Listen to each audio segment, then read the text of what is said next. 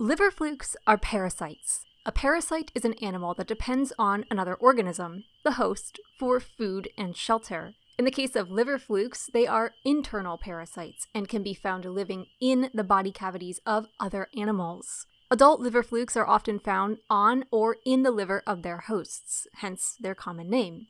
Liver flukes are flatworms. There isn't a single taxonomic group classified as the liver flukes. Instead, they make up many groups that don't share a common ancestor. This means that liver flukes are a polyphyletic group of animals. Liver flukes can be found anywhere their hosts live, so just about anywhere is an option as long as each stage is able to fulfill necessary conditions in order to develop into further life stages. For example, free living liver fluke larvae, meaning the larvae found outside of a host's body, can't live without water, so they're often found near water sources. Liver flukes begin life as an egg. The eggs are laid by adults and are excreted with the host's feces. The eggs hatch quickly into larvae called miracidia if they come into contact with water. This larval stage is free living, meaning they can live outside of a host, but only for a short time as they require moisture. The first host will not be the final host and is thus called an intermediate host. The liver fluke will spend time here, but will not develop to adulthood inside this particular organism. An example of an intermediate liver fluke host is a snail. Fish can act as an intermediate host for liver flukes as well, though. The Miracidia will burrow into the intermediate host's body cavity. Here they will form into a sac like shape called a sporocyst, and as this sporocyst grows, new larvae will develop inside of it.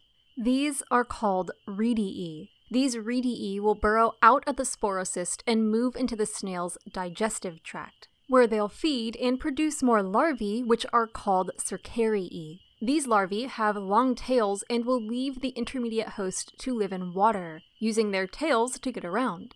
The cercariae will form into cysts and wait on vegetation to be eaten by a final host. Once in the final host, the cercariae will make their way to the host's liver and eat the tissue here. Eventually, they'll become adults, attached to a bile duct, and the process will begin anew. Here, the adults may live for decades, often going unnoticed by the host. In total, from egg to adult, the process takes about 20 weeks. In the case of humans, liver flukes are often ingested through consumption of raw fish, though even us vegetarians aren't completely safe because ingestion of raw plants, like raw watercress, as well as contaminated water, can also lead to an infection.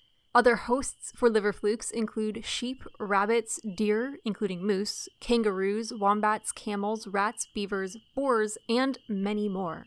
Like with tapeworms, it's usually not even apparent to a final host that the liver flukes are present, though bad infestations can lead to indigestion, abdominal pain, diarrhea, constipation, and nausea. In human society, liver flukes are treatable, but they've caused a lot of problems with livestock. Liver flukes can lead to lower quality meat and milk, and they're difficult to eradicate from an environment once they've become established. They may also infect our pets.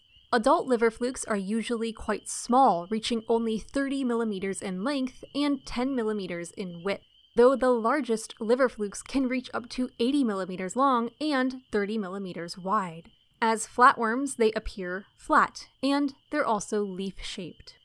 For more facts on liver flukes, check out the links in the description. Thank you to Rasmus for today's request. Give a thumbs up if you learned something new today, and thank you for watching Animal Fact Files.